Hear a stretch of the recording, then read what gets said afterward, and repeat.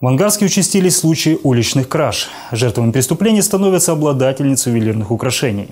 С начала года было зарегистрировано 48 подобных преступлений, и только половина из них раскрыты. В случае, если э, не удалось избежать грабежа, э, необходимо незамедлительно обратиться в полицию по телефону 02, так как э, большинство преступлений данной категории раскрываются именно по горячим следам. С начала текущего года зарегистрировано свыше 360 грабежей. 70% из них совершены на улице.